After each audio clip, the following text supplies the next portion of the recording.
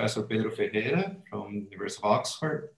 Um, he's one of the uh, uh, leading experts in uh, theories beyond the, standard cosmological model.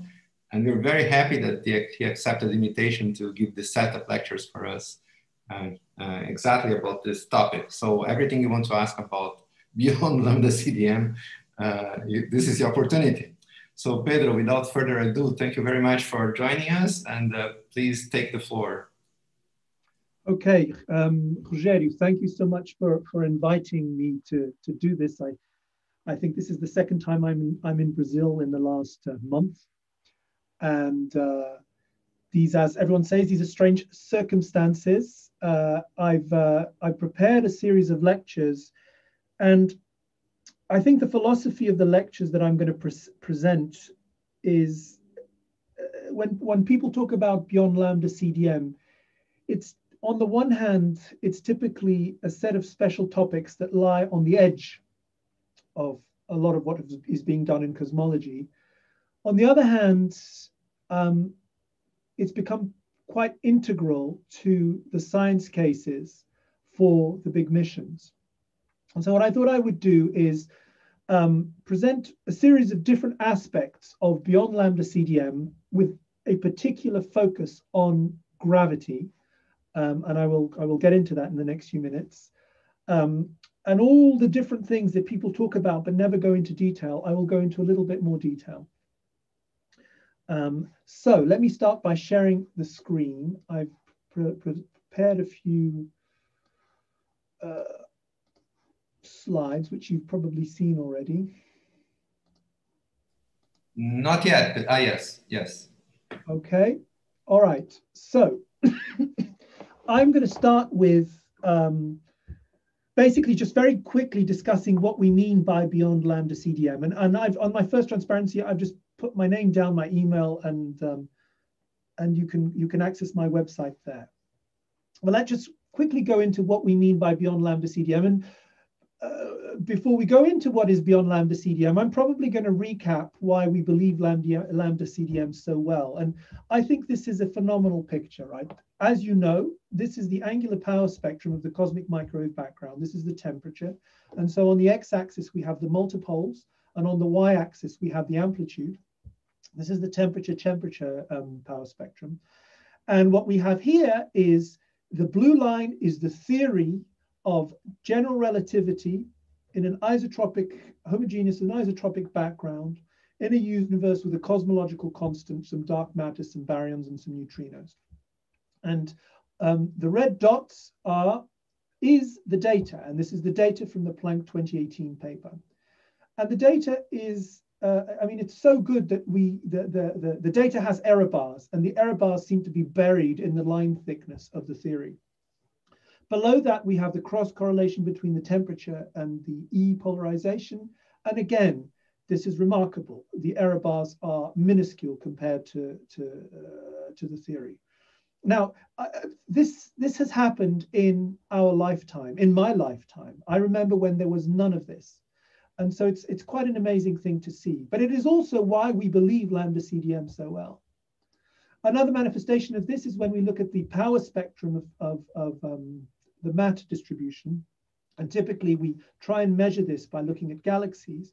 On the x-axis, we have the, inver the inverse wavelength, so the wave number. So on the left, we have large wavelengths. On the right, we have small wavelengths, so large scale, small scales.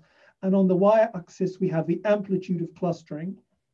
And again, we have lambda CDM is this line, and lying on this line are different measurements from different, uh, uh, from different um, surveys uh, of, of um, and the deconvolved temperature of uh, what the power spectrum of the matter distribution should look like. And again, it's a remarkable fit, and it's just getting better and better.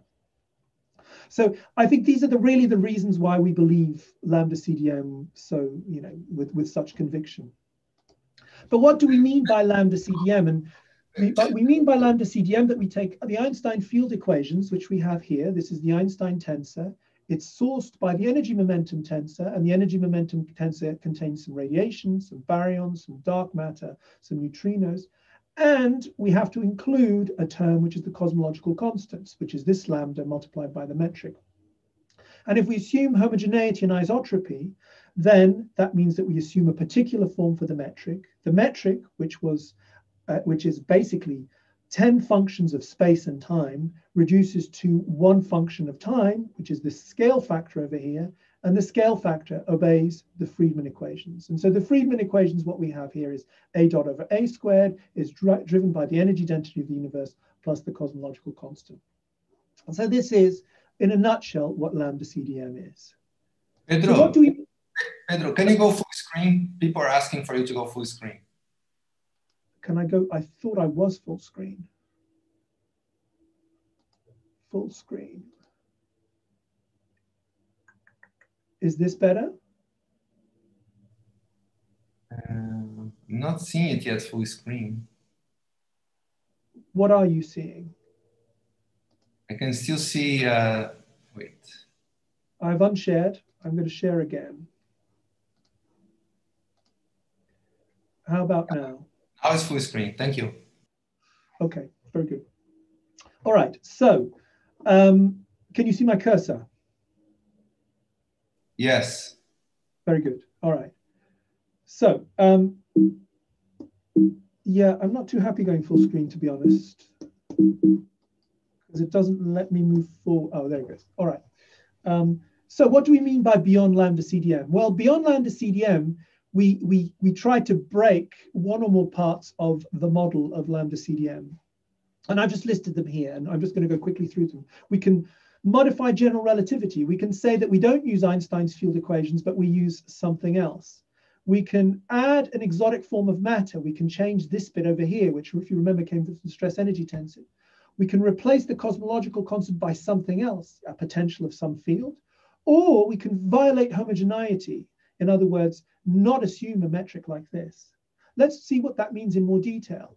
So for example, we can replace the cosmological constant by some energy density, for example, that of a scalar field, which I have here, and that scalar field has a kinetic term and has a potential energy. If the kinetic energy is completely subdominant, the energy density is dominated by the potential, en potential energy, and which is very similar to a cosmological constant.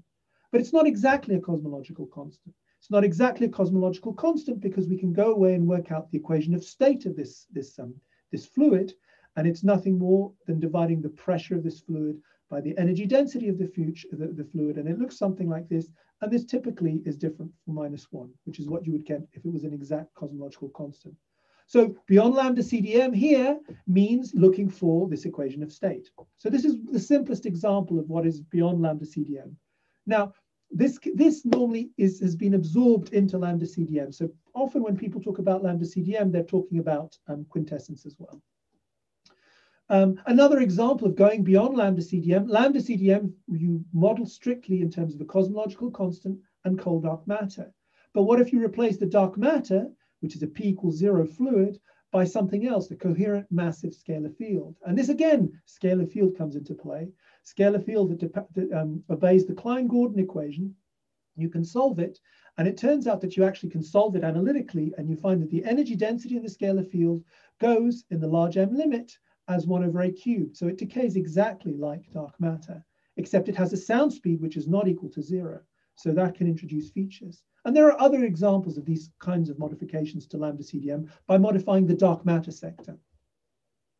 Another example is if you, for example, uh, drop the assumption of homogeneity. And over the years, they, the, these models come into popular, uh, come into fa fashion and then fall out of fashion.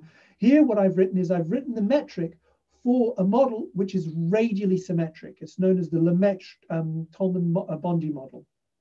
So your scale factor now depends on the temperature and the radius. And not only that, you, you have two scale factors. You have a scale factor in front of the radial part, and you have another scale factor in front of the angular part. So it's not like the Friedmann case uh, anymore.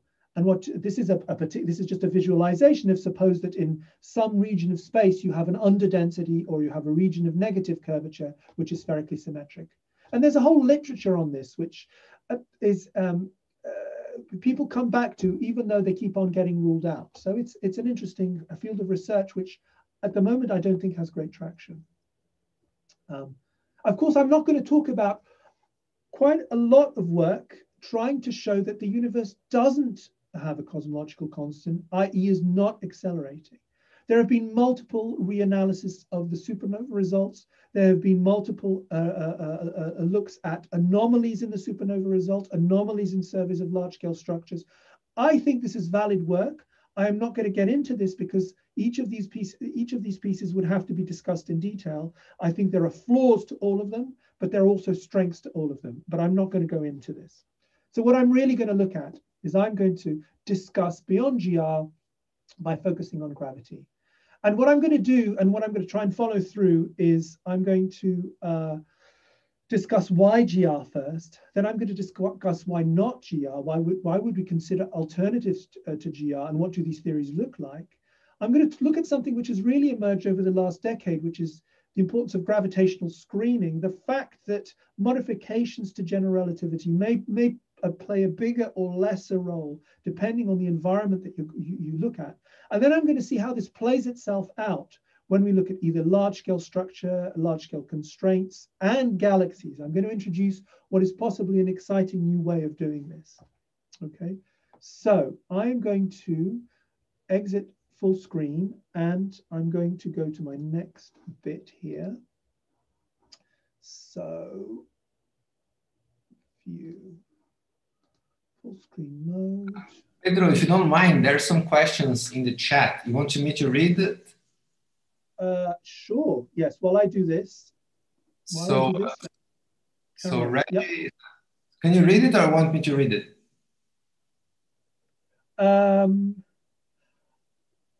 are the signs on the line element correct? I uh, let me see. It's probably the metric that you're using. yes. Why wouldn't they be correct? Oh, sorry, I see. Before you mean in front in the Tolman Bondi part. Um, you're right, there should be a plus in front of the B squared. Um, what is gravitational screening? I will get to that in one of my lectures.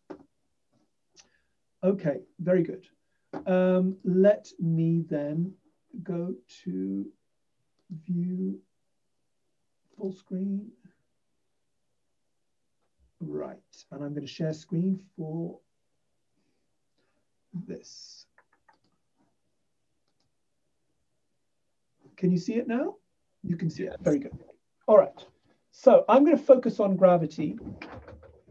And um, sorry, I'm going to focus on gravity. And the first thing I'm going to do is why do we believe in GR? There, there's a bunch of references on the first page. And I'm going to um, try and convince you that GR is really a fantastic theory. And I don't think that's going to take a lot of work. And the first thing I'm going to do is I'm going to um, just quickly recap the history of general relativity. We all know what happened. We all know that Einstein, over seven years, got lost in the wilderness and he came back and he proposed the theory of relativity, which was based on this whole new mathematics that he really didn't know and was introduced to by his friend. Um, and he was able to formulate a geometrical theory of gravity. Uh, and the, the first success of that geometric theory of gravity is that it could explain the precession of perihelion of Mercury. Eddington went out and with uh, uh, his colleagues, they measured the eclipse. They found that it predicted the bending of light exactly as general relativity had said. This launched general relativity into this incredibly successful theory over 10, 10 years that there was this, this, um, this epoch of what I call the low hanging fruit, where people could just calculate new things and they were wonderful. Schwarzschild could show what the metric was around a point mass. Friedmann and Lemaitre could work out what was happening with an expansion of the universe. Einstein himself could predict gravitational waves. All these beautiful papers came out over a period of uh, uh, uh between 10 and 15 years after he had proposed uh, the general theory of relativity. Hubble measures the expansion of the universe. There were all these wonderful things happening then. Then there were the wilderness years, with quantum mechanics coming to the fore, mathematics being too difficult, general relativity was put, um, was um, uh, uh, basically ignored or maligned by the physics community for over 25 years. And it was only in the late 50s, early 60s that people started looking at general relativity again in detail. There were some papers throughout, but it was really something that people, and I could tell you more about why people didn't work on it. There's a, an interesting quote by Feynman in a meeting in 1957 where he says, said, there exists one serious difficulty, and that is the lack of experiments. And he's talking about general relativity. The best viewpoint is to pretend that there are experiments and calculate. In this field, we are not pushed by experiments, but pulled by imagination. And that was the fundamental problem with general relativity. It was very hard to measure things. Of course, the 1960s, we saw this tremendous revival. Um, the radio astronomers discovered quasars. Quasars were incredibly energetic objects at, very, at large distances, which means that they were strong gravity. The only way to explain them was through general relativity. There was the prediction and discovery of the cosmic microwave background. There were multiple ways of looking at black holes from looking at the effects it had on, their, on, on partners, looking at X-ray emission, Penrose came up with the singularity theorems, um, uh, saying that black holes were inevitable if you if you um, um, if you believe in general relativity. Um, there was the emergence of physical cosmology, which I think has been at the heart of what you've been learning last week and this week. In other words, that not only do we look at the expansion of the universe, we have to look at the large scale structure of the universe. And we this really was the golden age of general relativity. And we fast forward to now, and it really is a glorious time to think about general relativity. It, cosmo cosmology, our current model of theory of cosmology, is based on general relativity. The LIGO Virgo detections are based on general relativity. Uh, the Sagittarius A star measurement of the black hole shadow is based on general, um, sorry, the, the orbits around Sagittarius A star are based on general relativity, the event horizon tells, etc. There are all these wonderful observations that come, which are consistent with general relativity. And what, what do I mean by general relativity? Well, sometimes it's useful just to compare um, with what we believed gravity was for, for hundreds of years. In, with Newton, we came, we had a theory of gravity which gave us F equals ma, and it told us how this F, this force due to gravity, was generated by um, um, by the energy density, by, by mass. And so here we have the simplest formulation of F equals ma, and this F is given by the gradient of some potential, and this potential is sourced, sourced by an energy density. With Einstein, what we talk about is geodesics in space-time. And so this is a clumsy way of writing the geodesic equation. This is built out of this thing, the Christoffel symbol, which, we, which comes from the metric. And the metric is the thing that de defines the geometry of space-time. The, the metric also feeds into the Einstein tensor, which is built out of the, the Ricci curvature uh, tensor, the Ricci tensor and the Ricci scalar. And this is sourced by the energy momentum and the cosmological constant. And so this is how we do general relativity. And the link between the two is we, if we take the appropriate limit, if we look at the weak field non-relativistic limit, we have that the G naught naught component, it gives one plus two phi, this, the, the, the, the, the Newtonian potential. And so this equation basically reduces down to this thing here, over here. And the field equations reduce down to this over here. So this is how we map one from the other. Um, note that there are some interesting properties the um, the gradient of the the the, uh, this, the Einstein tensor is divergence free, but that also corresponds to conservation of energy and momentum, and also that um, uh, these equations are second order in the metric. Okay. So another way of looking at, at, at general relativity is by looking at the action. And the action for general relativity is the Einstein-Hilbert action, which I've written here. So here is the Planck mass, and sometimes we write uh, the action in terms of the Planck mass, sometimes we write it in terms of Newton's constant. And we have here the Ricci scalar minus 2 lambda over here, and then we have the coupling to matter, and the coupling is via G. It's just minimal coupling to matter. And how do we get, how do we go back to the, the Einstein equations? Well, we vary with regards to the metric. And so if we vary all this, if we do a, a, um, uh, use variational calculus to expand this, we get the delta S will be um, all this chunk over here, where we get, what is this? This is just the G alpha beta plus lambda G alpha beta. This is the Einstein tensor plus the, sorry, the cosmological constant term. Here we have the energy momentum tensor. So we have here all bundled together in front of G alpha beta, we have the uh, we have the Einstein field equations. We get an extra bit over here which are surface terms, but these um, we, we uh, these depend on the boundary and we just have to set the right boundary con uh, conditions to, to set this to zero. And there's a whole discussion in the 1970s of why this should be here, why this shouldn't be here. The reason I'm putting this here is this is going to be important when we look at other theories. Okay. And tests, well, there are all these tests that you've learned in your undergraduate degree. You've learned about gravitational redshift, and this was spectacularly measured by pound uh, um, in the Pound-Rebka experiment that you have uh, you have a, a, a, an element emitting uh, having emission lines at some frequency high up in a gravitational potential, you measure it low down, you'll get a gravitational shift, which is due to the difference in the, the value of the gravitational potential between those two points. Um, you can look at orbits, and we know that we've measured the precession of perihelion of Mercury. We can look at lensing, um, we've seen that with, with the Eclipse ex expedition by Eddington and others. We can look at orbits, one of the most spectacular measurements of, uh, uh, we can look at one of the most spectacular constraints on general relativity comes from looking at the time delay as an emitter moves behind a massive object. Uh, it's known as the Shapiro time delay, and it's been spectacularly measured by the Cassini satellite. But of course, we have all these other new, new set of measurements like the binary pulsars. The binary pulsars, you can measure the orbits in almost strong gravity and you can see them how, how they evolve and you can see how the general relativistic corrections come in with exquisite precision more recently we've looked at gravitational waves and by looking at how black holes merge and um, uh, in spiral merge and ring down and looking at the consistency between the in spiral and the ring down how it's consistent with general relativity it's not a, such a good test but it, you know it's the new, it's the first time we're doing tests in these regimes.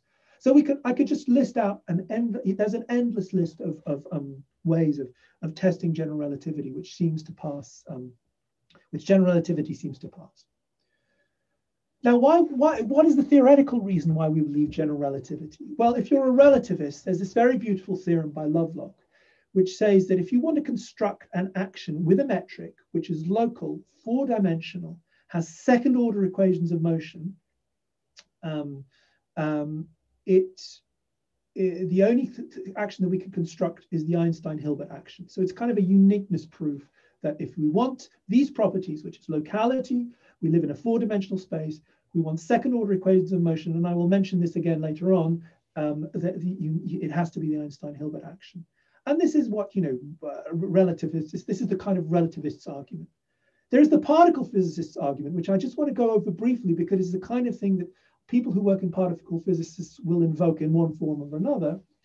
Is that the Einstein Hilbert action is the only consistent theory of a spin-2 field. And the, I've put down the references there because they're, they're educationally, they're useful for you. I've also put down a paper by Padmanabhan, which contests this view. And again, I think it's useful to, to read it because he points out possible loopholes in, in, in this idea. But let me try and explain what is meant by this, this consistent theory. So let's imagine that we have a spin-2 field. And what I mean by a spin-2 field is really a field with two indices, okay? And let's assume that this spin-2 field satisfies a gauge symmetry. In other words, we can choose a four vector psi mu, okay? And if we transform this field by gradient of uh, del, um, del mu psi mu plus del mu psi mu, and we just add that to it, and we transform the equations of motion that this field satisfies or the action that this field satisfies, it's invariant. So I want to construct a theory which is invariant under this transformation. I'm calling it a gauge symmetry um, for the spin-2 field. Now, where could this symmetry come from?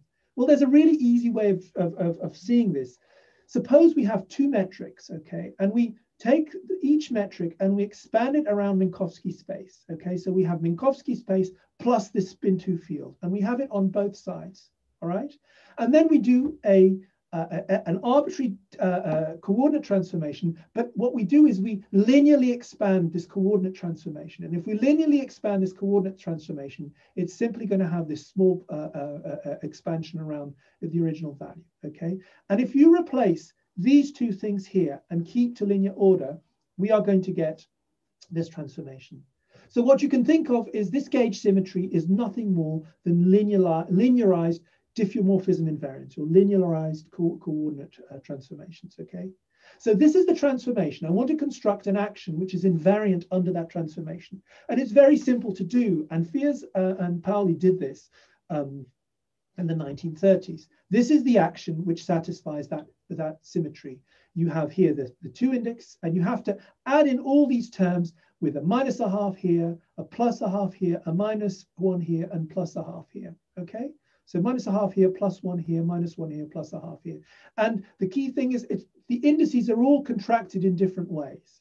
Now, one thing you could do is you could have just written down an arbitrary action with constants here, contracting all the indices in different ways, and then impose that transformation and find the action which um, satisfied that. That's a good homework exercise that you might want to do.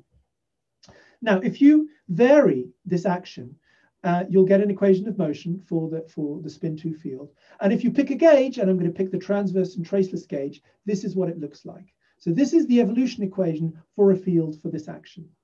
The problem with this is it has no source. So if you add a source, and we know that gravity really is all about sources. You know, you've got a space-time, you put stuff in it, it'll deform the space-time. So we need an equation where you, uh, you, you'll modify this, this, this spin 2 field somehow by the presence of something. Let's keep it simple. Let's just add a scalar field, a massless scalar field. Suppose we just add a bit to the action, which is just add um, uh, uh, uh, a new bit to the action. So it's this plus this. What are the equations of motion? Well, the equations of motion are simply going to be the same one we had before, plus the massless Klein-Gordon field, and they're uncoupled. The, the, the spin 2 field is completely unsourced by the scalar field. We need to some, find some way of sourcing this bit by this bit over here. In other words, what we'd like is we'd like a, a, an evolution equation where the scalar field, where the spin 2 field would be sourced by the stress energy tensor of the scalar field. And the stress energy tensor looks something like that. Well, we can add something like that. If we add a term just like that, we do that and then work out the equations of motion, we find an inconsistency. And again, I could leave this as a homework exercise. We would get that this is equal to this, but we know that this, um, we, what we find is that this thing is equal to zero, but this thing isn't equal to zero. And this thing isn't equal to zero because now this box term is sourced by this thing over here.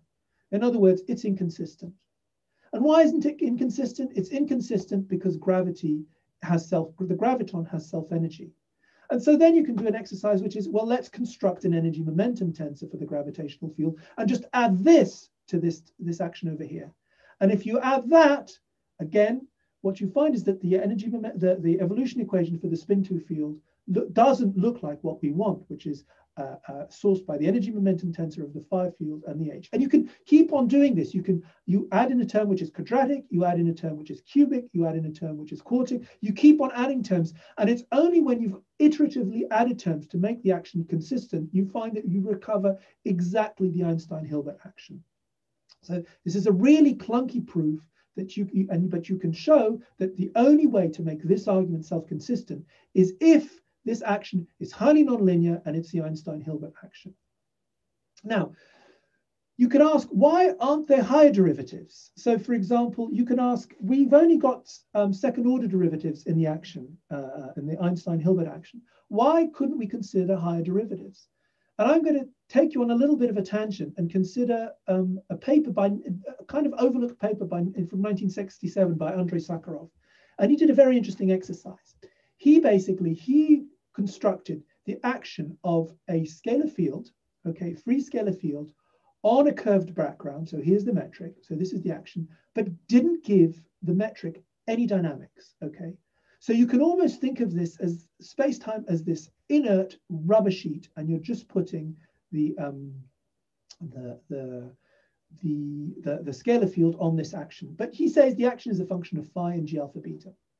Then he did the following interesting thing. He integrated out, in the sense of a path integral, he integrated out the scalar field.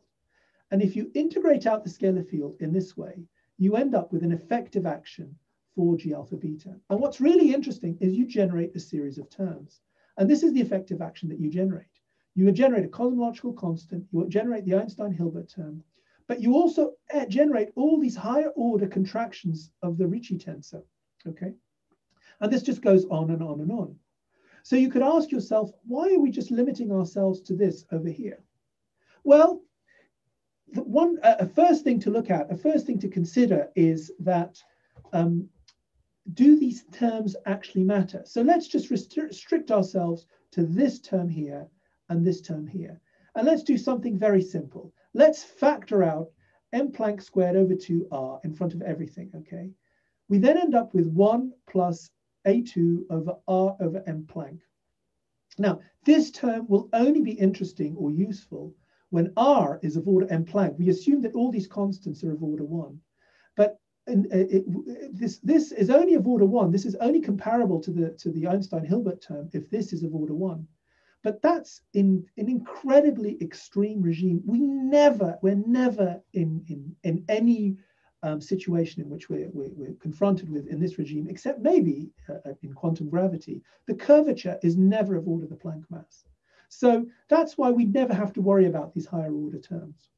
There's another aspect, which is if you add higher order derivatives to your equations of motion, and you'll definitely do that because remember, there's second order derivatives here, but here you have second order and second order, you go to fourth order and etc.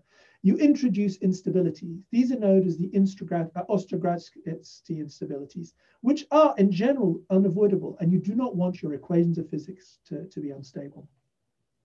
So um, that's why, and so this is kind of a this is a, a kind of almost a PR piece on why we should um, stick with GR. It's it's GR is the leading order for for gravity. It's beautifully confined uh, confirmed by by experiments. There's there's theoretical prejudice. Love, you know, Lovelock's theorem shows that there's if you make certain assumptions, if there's a uniqueness um, about it.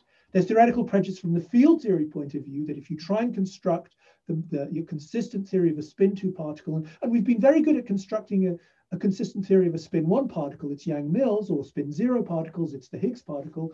If you want to do the same thing for a spin two particle, you end up with general relativity. And higher derivatives are suppressed or unstable. But in, in doing all this, we, we, we have, you know, in doing all this, we've made assumptions. And sometimes it is these assumptions that give us a way of exploring other options. And that's what I'm going to move on to next. But before I do that, I am going to take questions. Okay, so I'm going to look at uh, why don't we also speak of isotropy violations? We could speak of isotropy violations. Isot isotropy is incredibly well constrained, although, as you will point out, there have been these recent measurements that there are some is isotropy violations um, uh, by some of my colleagues have found isotropy violations in some of the large-scale structure data. Um, pure anisotropy uh, is described by models called Bianchi models. They are, they are beautiful models. They're not particularly interesting from the point of view of solving the problem, the problems, uh, uh, the dark energy problem or the dark matter problem, but they're interesting in their own right. And there's a whole literature on constraining them. Okay, what about the possible mass term for the graviton in the Pauli action? The mass term could be there, but that's not what I, I don't need it for the point that I wanted to make here.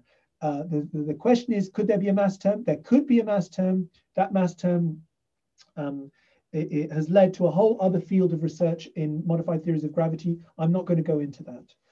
Um, can you explain, please, how Ostrogradsky instabilities will appear with higher derivative terms? No, I can't, and I'm really sorry because I used to have that and it would take me about 15 or 20 minutes to do that.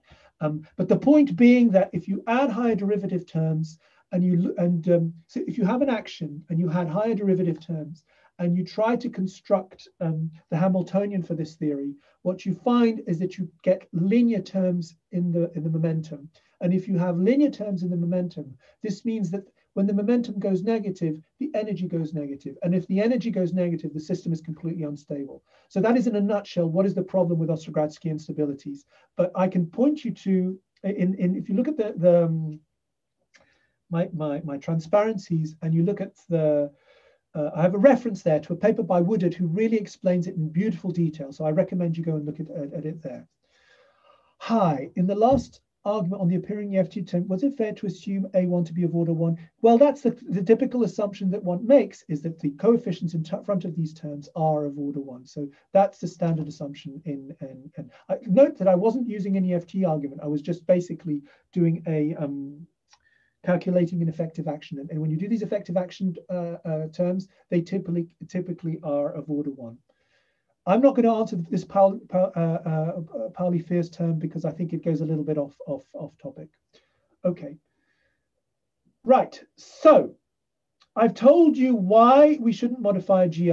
I am now going to discuss why, how we can modify GR. Again, you like this full screen, so let me try and get this right. Full screen.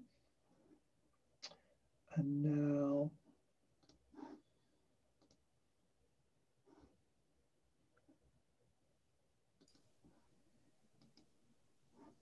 Okay. So why, why should we modify GR? Well, we all know that gravity is unlike the other forces. It just doesn't fit neatly into the, into, into the package that we have. It's not, you know, the strong, weak, and electro forces are, in common parlance, UV complete. Um, we have a unified model for them. There are things that we don't understand in it, but you know, it's a pretty spectacular theory gravity does not fit into this unification picture. Um, furthermore, it's not UV complete. It is just, if you want to be dismissive, an effective field theory. Um, and you would like to understand why, you know, what goes beyond that effective field theory. Furthermore, there are these interesting low end within gravity itself, there's this interesting and puzzling hierarchy. We, we seem to need this cosmological constant, which is part of gravity, um, but we also have the Planck mass. And if we work out the corresponding energy densities to both of these terms, there's a discrepancy of about 120 orders of magnitude. Um, there's an interesting aspect which I think has motivated many, many attempts to look at beyond general relativity, which is an argument made by others, Eddington and others, but I like Dirac's version. And he his argument is the following. If we work out the mass contained in the cosmological horizon, and we work out the size of the cosmological horizon, we roughly get the value of Newton's constant. And so an, a way of converting that into something more dynamical or to do with, I mean, this is a coincidence, you know, this is a coincidence that one might try to try, uh, try to explain um, if we try and, and, and, and, see what this, where this might lead us, a la Dirac, well, what if we say that this, this mass contained in this cosmological horizon is simply some density times r cubed? You know, there are factors of order one in front. And we replace it in that inequality here, in that sim here, and we replace it and we get something like this. And then we try to covariantize this equation. Well, we get something like this. And what this seems to be implying is that Newton's constant should be dynamical. In other words, Newton's constant could respond to the environment to take the value it has to satisfy this. So this is kind of a hint that maybe there is something going on which is just beyond general relativity and that there's some kind of adjustment going on uh, which, is, which leads to the coincidences that we see today. So what I'm going to do is I'm going to use what I spoke about in this the, when I was trying to convince you that GR was the, was the theory. And I'm going to go back to Lovelock's theorem. And if you remember Lovelock's theorem, Lovelock's theorem uh, imposed three conditions. He said that um, we wanted a theory that was local, that was metric, um, that was second order. And I've we want it to be second order because we don't want to go down the Ostrogradsky instability route and we, we live in a four-dimensional space-time. Let's stick to these things. If we stick to these things, it's pretty hard to, to go beyond. But what if we start violating some of these assumptions? And so the first thing I'm going to do is I'm going to look at a first proposal, which is I would consider is the Ur example of, um, the modified gravity theory. And it's Jordan Brans-Dicke gravity.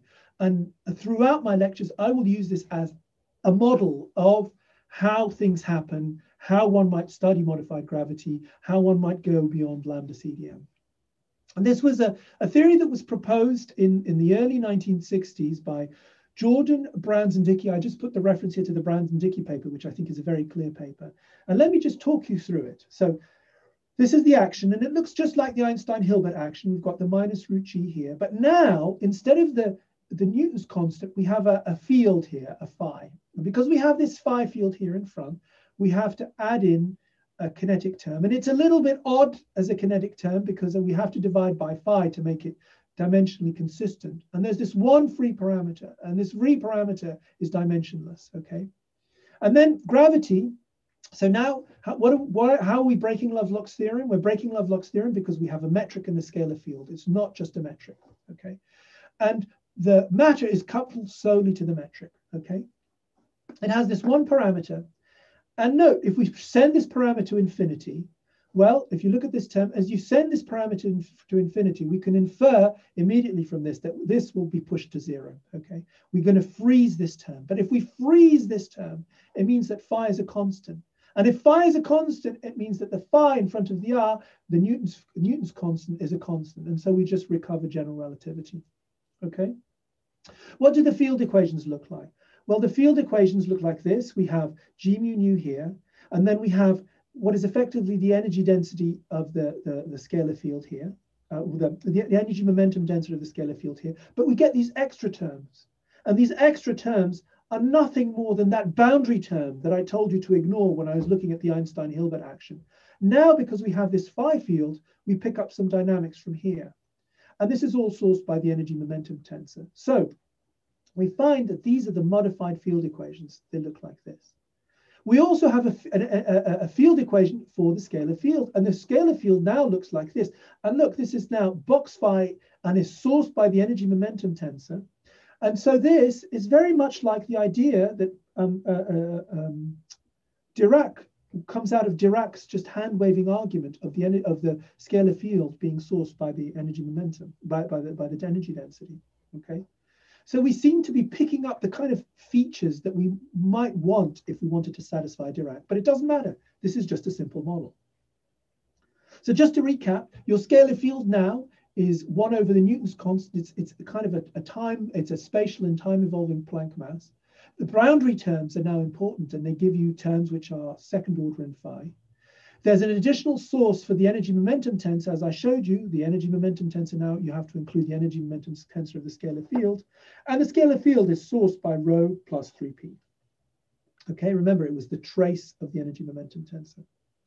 Now, uh, if you take the Newtonian limit, the Newtonian limit, um, you'll find that your is, is set by the, the, the, the, the, rest mass or the rest value of the scalar field plus some dependence on, on the on the uh, what you call it on the on the parameter, and there are fantastic constraints on this parameter. I mentioned the time delay, the Shapiro time delay from the, the, the, the Cassini satellite. We can now constrain this dimensionless parameter to be greater than 4 times 10 to the 4. Okay, and remember what that means. That means that when we push that to infinity, we're freezing this. So phi is cl very close to a constant. So this theory as it stands, is remarkably close to general relativity. We can take the general relativistic limit, and we can uh, uh and, and, and, and we look we can look at the data, and it's pushing it to the general relativistic limit. So I'm going to come back to this theory again and again through the lectures because I think it's just a very useful theory because of the everything that happens um, to, to, to, to use as a, a, a, as a test case, an educational model, but also as a model of how we should look at data. Now, we can also use this theory to, to learn a little bit about how what we can do with such theories. We can make this theory like general relativity, okay? And what we're going to do here is what we're going to transform the metric. We're going to do what's known as a conformal transformation.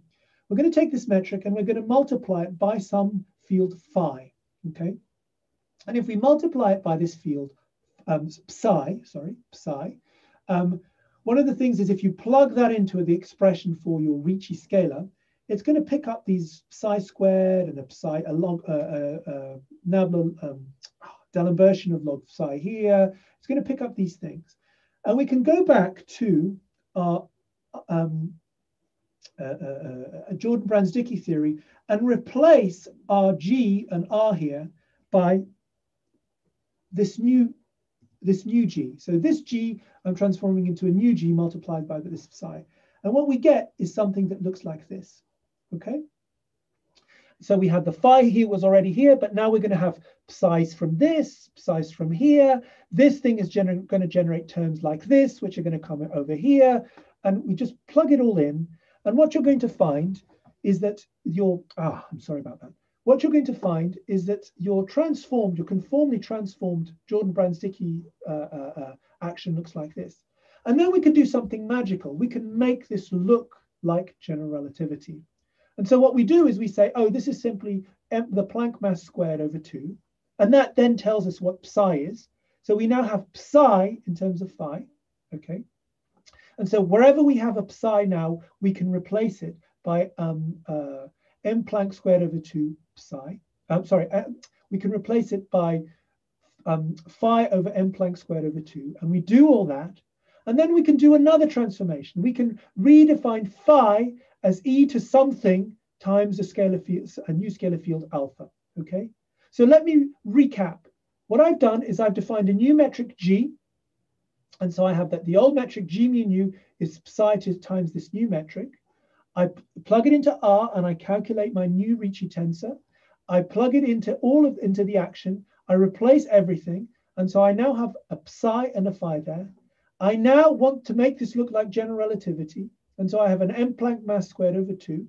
And so I can define my psi in terms of phi. I get this. And I do one final step, which is define phi in terms of the scalar field. Okay. And, and psi is some exponential of a scalar field. And what I end up is, as promised, something that looks just like GR. What I now have is just the Einstein-Hilbert uh, uh, action with a massless scalar field. But look what's happened. What I now have is that matter is not minimally coupled to the metric anymore. It now is coupled to G times alpha, and there's an alpha in front here.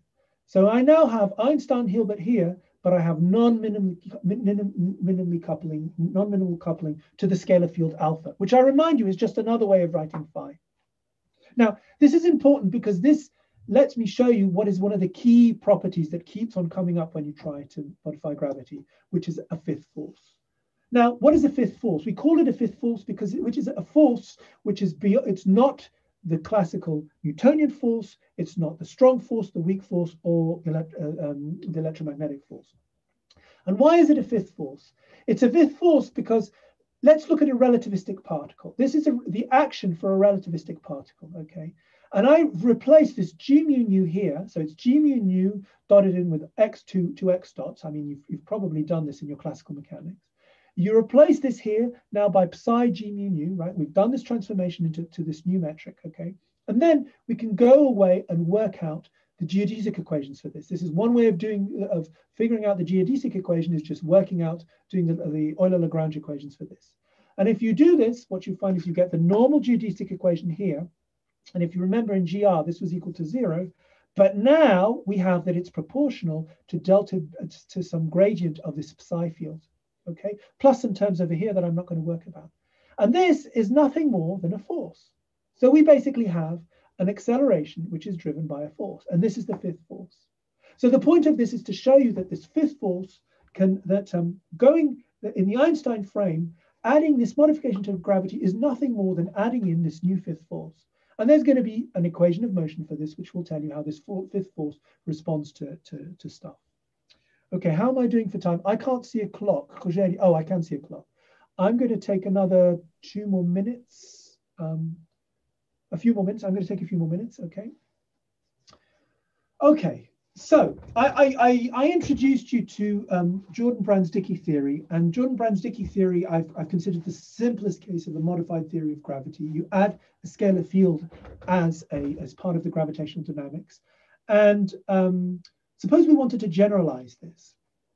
Suppose we want to, uh, uh, we let's restrict ourselves to second order equations of motion as before, but suppose we want to generalize this um, to uh, um, beyond just Jordan Brans-Dicke. Well, there are many ways of doing this. One way is, is by generalizing the kinetic term. And so often we, and we'll come through this again and again, we often like to call capital X is just the normal kinetic term. And the normal action we have with a scalar field, we just have a normal kinetic term, but we could add in a function of the kinetic term that looks like this. Um, we could add in more complex non-minimal couplings between the scalar field and and the uh, and the Einstein-Hilbert and the uh, the Ricci scalar. So we could add in a function of phi. We could add in potentials. We could do all of this and just make far more complicated models. Um, there's an interesting aspect that I, I, I, want to bring you to, which is, you know, we, we want to we want equations to be second order, but there are ways of making equations second order, even though when you look at the action, it looks like fourth order. And I, I find this a really good toy example of how you would do this. So this is a flat case example. So I, as you've seen, I've, I've, dropped the square root of, of g here, but let's construct, let's add these two terms. Let's look at this action, okay? Now, in principle, this is a nightmare, right? Because I've in, I'm, in principle, I have here fourth order equations of motion, okay? I, have got explicitly fourth order equations of motion here. I here I have the product of two second order equations of motion, two second order, sorry. I've got a fourth order term here. I've got the product of two second order terms here. All of this you would imagine will give you fourth order equations of motion. Well, you can sit down and just vary this with regards to phi. And I leave this as an exercise. Um, if you vary this, you're going to pick up these terms. And I've bundled them in the following way. I've bundled them in a way where you have the um, fourth order terms are here, okay? And the sec and I, have put that here, and a second order term is here, all right? And the trick that you can do is you can integrate by parts. Um, uh, you can integrate by parts this bit over here. And then what you can do is you can set lambda equals to 2 to get rid of all the fourth order parts that you would obtain from here. And if you do this, this action reduces to something that looks like this. In other words, you could write this this way, and if you put 2 here, if you put the number 2 here, your equation, even though this looks like a, a, fourth order equation of motion, you would get fourth order equations of motion, you can end up with second order equations of motion. Now, you can do this uh, trick very systematically. And that's in fact what was done in 2009 by Nicolis and collaborators. You can construct a very general action with all possible contractions of um, uh, uh, uh, uh um, D'Alembertians of phi and D'Alembertians and D'Alembertians, and you can tune the terms so perfectly that you only get second order uh, uh, equations of motion. And what you find is that these theories have a particular symmetry. It's called the Galilean symmetry, which I write here. You can shift them and you can add a, a, um, a space-time dependent shift. But you can, the point being is you can generalize um, scalar field actions uh, uh, quite trivially to, to, to, to give them second order equations of motion. And in fact, you can do this even further. And this is something that you will come across if you look at beyond lambda CDM theories. And that is that you can construct what are known as Horndeski actions. So let me just talk you through what this action looks like. You have the, this should be D4, X, I'm sorry, minus root G. And then you have a sum of five terms. And these terms are, fun these, these are general functions of phi, X, the, the um, D'Alembert of phi, and the metric, okay? And it turns out that if you restrict this to having second order equations of motion, the, these, these, these have a very simple form. You basic your L2 is simply a k of a, a, a, function of x and phi. This L3 is some function of x and, and phi times box phi. L4 is a g, you have a function here of x and phi um, times the, the Ricci curvature plus this thing here to compensate. And then you get an, an, additional bit. You can add a bit which is proportional to the Einstein tensor contracted with, um, with the scalar field, and an extra bit here. And it turns out that this mess over here will give you only give you second order equations of motion. So this is a very general action that gives you second order equations of motion. It is not the most general action. And over the last few years, we've learned that there are ways of generalizing even further. And I would point you to papers on beyond Horndeski action and DHOSTs. But the, the, just to finish this part of, the, of, of, my lectures, the point about this is there are ways of generalizing, um, of, of constructing, constructing um, modifications of gravity which behave well and which you can do systematically and which give you second order equations of motion. And what I've really focused on here is uh, uh, just adding one extra degree of freedom, a scalar field. So breaking Lovelock's assumption of having just a metric, I've added a scalar field uh, uh, and I, I, discussed the archetypal theory, which is Jordan Brans-Dicke theory. I've shown that the, the kind of the hallmark, the observational hallmark of this is that you now have a new force, a fifth force. Um, I've shown that in the in the case of Jordan Brans-Dicke theories, they're, they're tightly constrained, but I've shown you how to generalize this. And I've gone a first step and shown how to generalize this to theories which look like an immense zoo, but still obey um, second order equations of motion. So I think for today, I will stop here and I will now look at the questions um, that have come up in the chat. Uh, so um, Gabrielle asks, are there any, have I, let me unshare screen. Uh, have I, I've unshared, I've unshared, okay. Are there any other constraints other than the Shapiro time delay on W, for example, like from the CMB? Constraints from the CMB are, um, if you look, I, I, will, I will mention that actually. It's very good that you've said that. I will talk about constraints from large scale structure in one of my lectures. Constraints from the CMB are not yet uh, as competitive as the Shapiro time delay.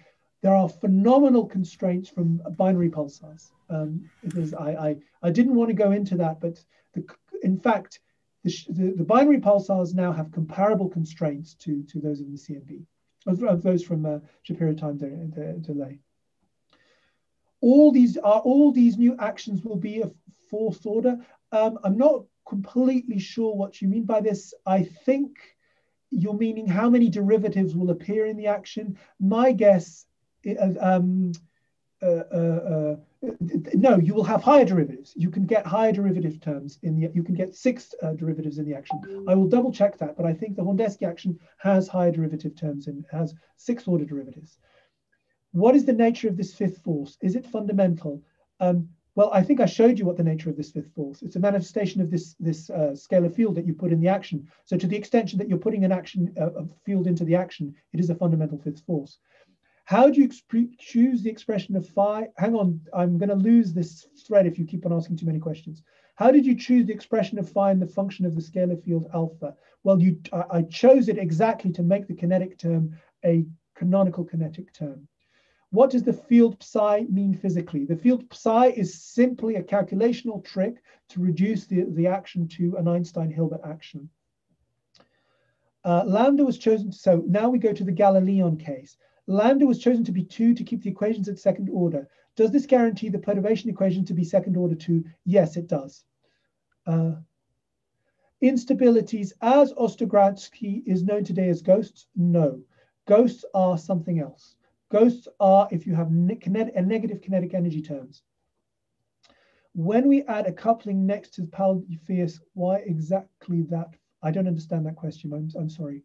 How do we construct the Horndeski action? Well, you construct the Horndeski action basically doing what I did for the Galilean in flat space, but doing it in a covariant way. I would suggest you go and look at the references in the papers that I pointed to because those papers are exactly about how they're constructed. Sorry, the fifth force would enhance the strength of gravity and therefore enhance structure formation. What about the consequences for photon geodesics?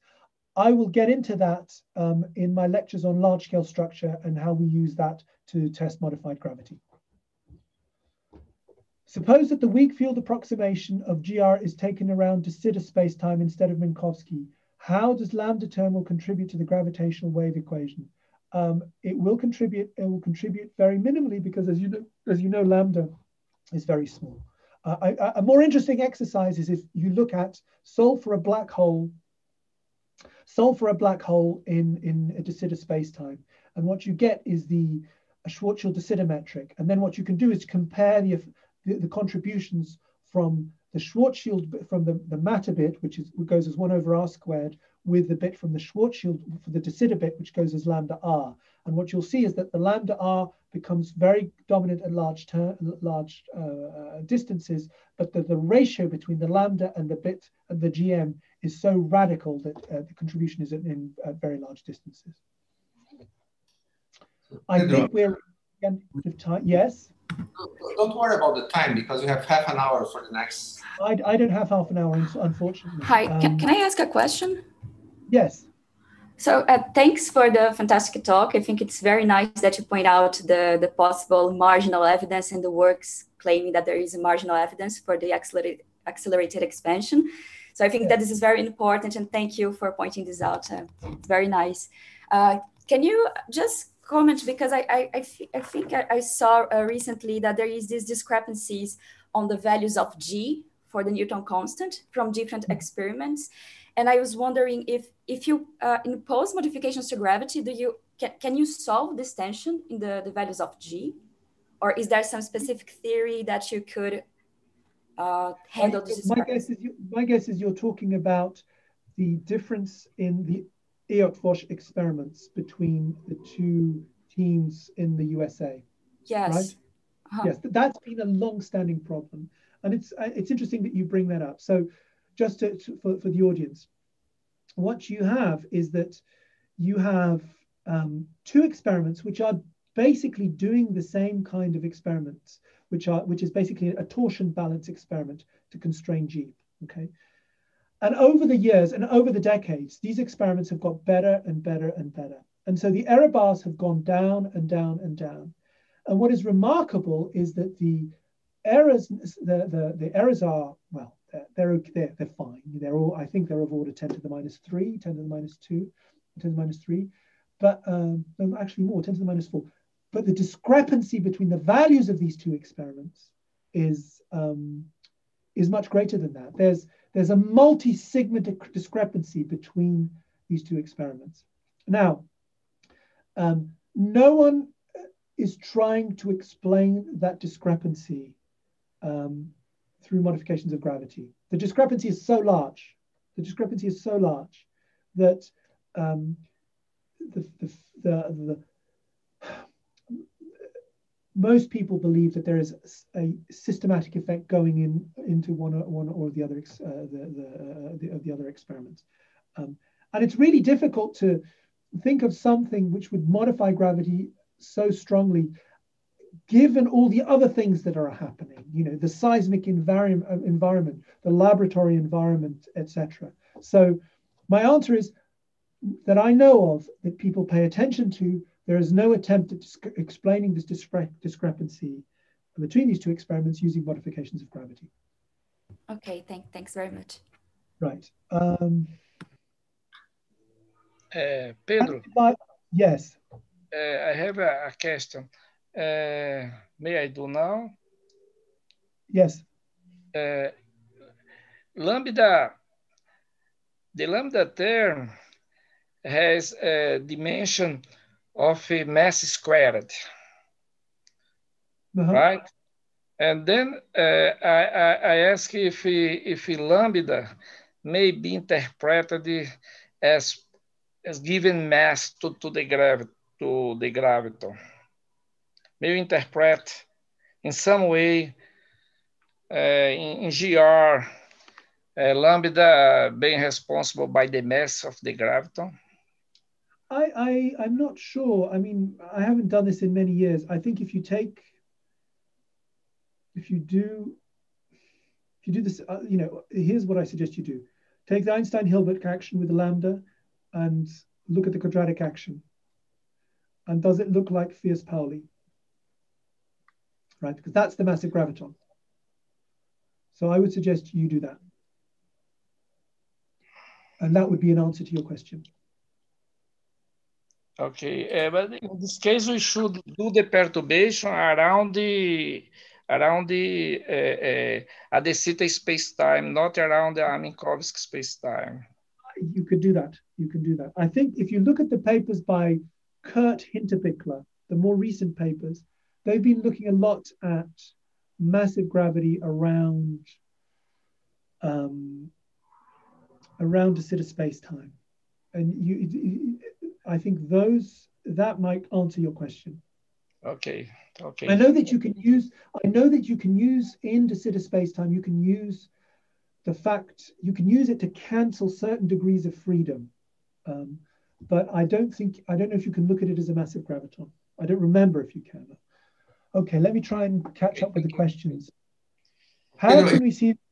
If you prefer, we can leave this. I don't know. Can you participate in the Q and A today, or? As you, I mean, you know my personal circumstances, right? We're in lockdown here, and I, I uh, yes. Uh, so, so I, I think I, I will come to the Q and A at five. I, I will come to the Q and A at five. Yes, we, I, we agreed. Uh, for me, it's five p.m. For you, I don't know what time it's going to be, but uh, I will, I will, I will be at the Q and A. Yes. And there is also, I just want to remind people, there is also the uh, Slack channel. So there's a Beyond Lambda CDM specifically for Pedro's lectures. So you can also write your questions there and uh, we, we will get to these questions during the Q&A.